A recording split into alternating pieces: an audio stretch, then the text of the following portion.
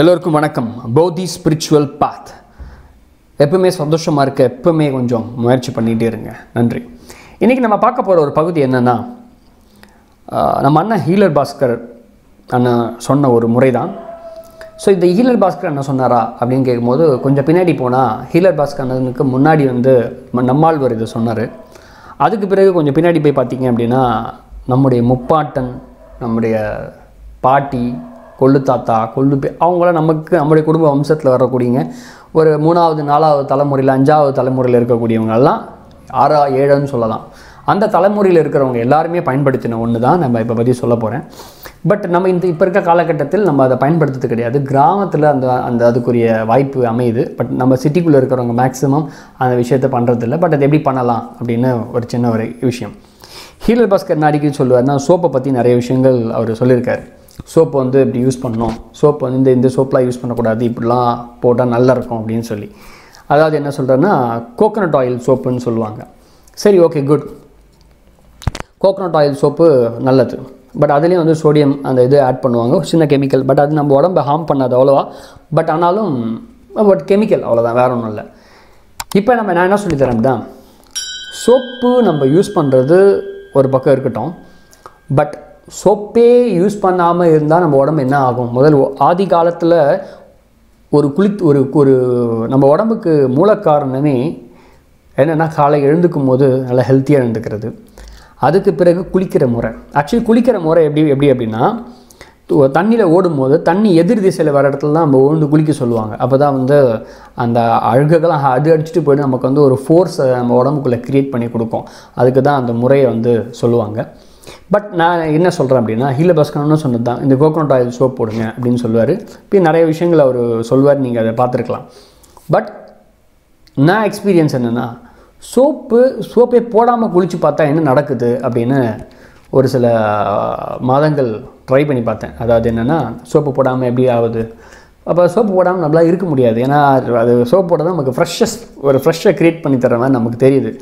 But வந்து அது ஒரு ரெண்டு மணி நேரம் மூணு நேரம் தான் நிற்கும். அதுக்கப்புறம் நமக்கு நார்மலாக ஆகிடுவோம் பட் அந்த நார்மலாக எப்பவுமே இருப்போம் பார்த்தீங்களா அதுதான். குளிக்கும் போது ஒரு விஷயம் நடக்குதுங்க. அது என்னென்னா வாதம் பித்தம் ஸ்கபம். இந்த மூணு விஷயங்கள் வந்து சம்டைம் வந்து வாதம் கூடி இருக்கும்போது ஒரு மாதிரி இருக்கும். பித்தம் கூடி இருக்கும்போது ஒரு மாதிரி இருக்கும். கபம் கூடி இருக்கும்போது ஒரு மாதிரி இருக்கும். ஸோ அப்போ வாதம் கொடுக்கும்போது சம்டைம் மூஞ்சி கருப்பாக இருக்கிற மாதிரி தெரியும் வெள்ளையாக இருக்கிற மாதிரி தெரியும். பித்தம் இது மாதிரி நிறைய விஷயங்கள் நம்ம உடம்புக்கு இந்த இந்த மூணே விஷயத்துக்குள்ளே தான் எல்லாமே அடங்கியிருக்கு. ஸோ ப்ளஸ் குளிக்கும் போது சோப்பு போடாமல் வெறும் அந்த காலத்தில் என்ன பண்ணாங்க?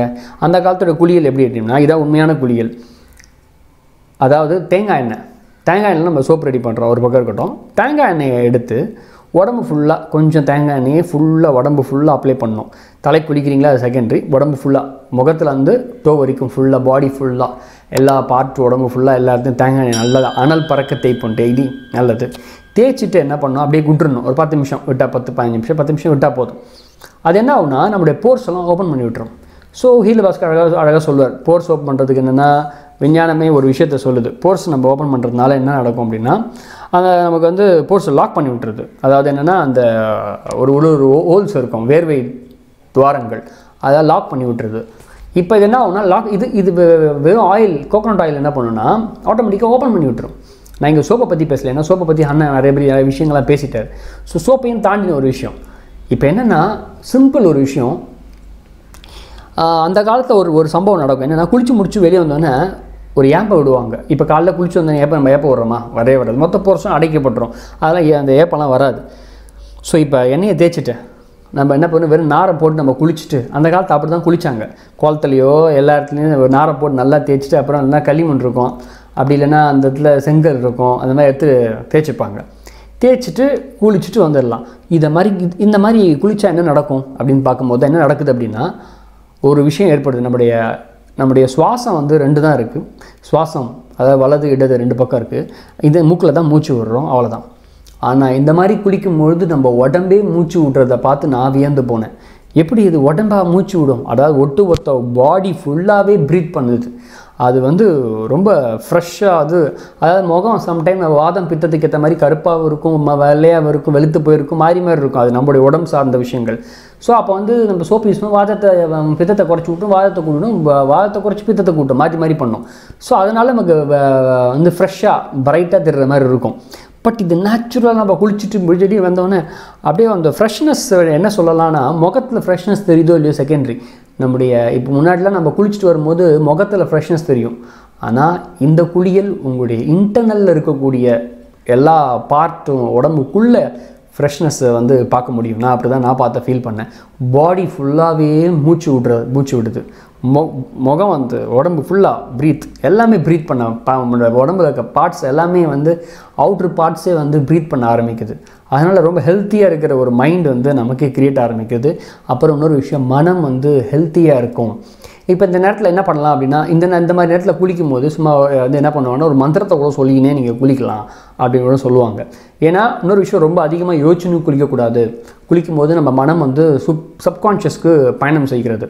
அதாவது ஆழ்மனதுக்கு நம்ம மனம் வந்து பயணம் செஞ்சிடும் அந்த டைமில் என்ன பண்ணுறோம் அப்படின்னா இந்த குளிக்கிற இந்த தண்ணி மாற்றிக்கணும் இப்படி நம்ம குளிக்கும்பொழுது நமக்கு சில பேர் ஆசை தெரியும். இந்த எண்ணெயாக இருக்குமே அதிகமாக இருக்குது எப்படி நான் நார் போடா போகாது. என்ன பண்ணுறது சரி இதுக்காக நீங்கள் கடல மாவு அல்லது தலைக்கு சீக்கா முடிஞ்சு போச்சு.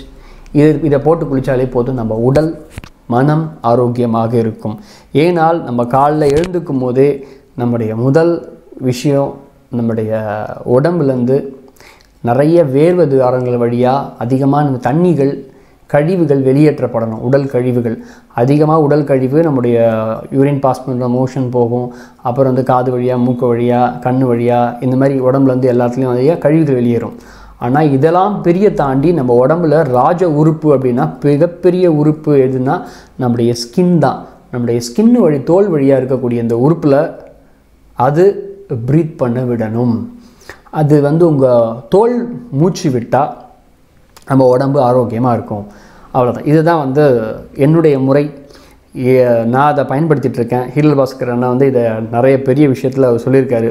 பட் நான் என்ன சொல்கிறேன் சோப்பு போடலாம் அது செகண்ட்ரி பட் இந்த ப்ரீத் பண்ணுற ஒரு விஷயத்த உங்கள் உடம்பே மூச்சு விடுற அந்த விஷயத்த கொஞ்சம் அனுபவித்து பாருங்கள் அப்படின்றதுக்கு தான் இந்த வீடியோ போடுறேன். உங்கள் உடம்பே மூச்சு விடணும் ஆசைப்ப அதை பற்றி தெரிஞ்சுக்கணுன்னா ட்ரை பண்ணி பாருங்கள் பாடியே வந்து மூச்சு விடுது.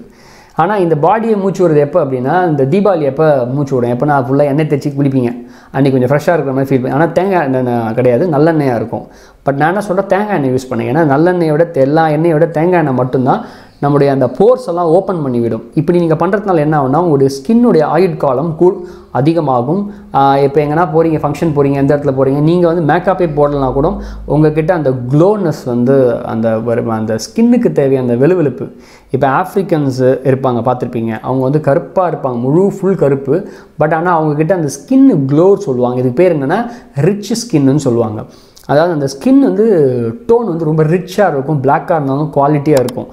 அந்த தன்மை நேச்சுரலாக நம்ம என்ன கலரில் இருந்தாலும் அந்த தன்மைக்கு நம்ம உடம்பையும் கொண்டு வரும் நம்ம உடம்பு ஆரோக்கியமாக வைத்துக்கொள்ளும். இதுதான் என்னுடைய சின்ன ஒரு விஷயம். ஸோ இதை நீங்கள் முயற்சி பண்ணி பாருங்கள் உடம்பு எப்படி மூச்சு விடுது? இப்படி மூச்சு விடுறதுனால ஹெல்த்தி மைண்டு நமக்கு வருது. மனம் வந்து ரொம்ப சுத்தமாக இருக்குது ரெண்டாவது இன்ட்யூஷன் நிறைய பேர் சொல்லுவாங்க அந்த இன்ட்யூஷன் இது என்னன்னா இன்ட்யூஷன் எப்படி வரும் அப்படின்னா நம்ம நம்ம உடம்பு சுத்தமாக இருந்தாலே இன்ட்யூஷன் வர ஆரம்பிக்குது. இன்னொரு விஷயம் நம்ம உடம்புல இருக்க தேவையில்லாத வந்து வேர்வை சுரப்பிகள் தேவையில்லாமல் அடைக்கப்பட்ட இருக்க விஷயங்கள்லாம் வெளியே போக ஆரம்பிச்சுன்னா நம்ம நிறைய இன்ட்யூஷன் தானாக வர ஆரம்பிக்கும். உடம்பு இன்ட்யூஷன் யாருக்கு வருதோ நீங்கள் ஹெல்த்தி மைண்டட் பர்சனாக இருக்கு இருக்கிறதுனால தான் இன்ட்யூஷன் வருது. வேறு ஒன்றும் கிடையாது. சிம்பிள் வே ஸோ இது வந்து என்னுடைய சின்ன அனுபவம். அதனால் நான் உங்களுக்கு ஷேர் பண்ணியிருக்கேன். முடிந்தால் ட்ரை பண்ணி பாருங்கள் பிறருக்கும் சொல்லுங்கள் உங்கள் உடம்பே மூச்சு விடும். பாடி ஃபுல்லாக நான் அனுபவித்திருக்கேன். அதனால் ஷேர் பண்ணுறேன் மிக்க நன்றி. அடுத்த போய் வித்தியாசமாக சந்திப்போம். பிடித்திருந்தால் லைக் செய்து கொள்ளுங்கள். சப்ஸ்கிரைப் செய்து கொள்ளுங்கள்.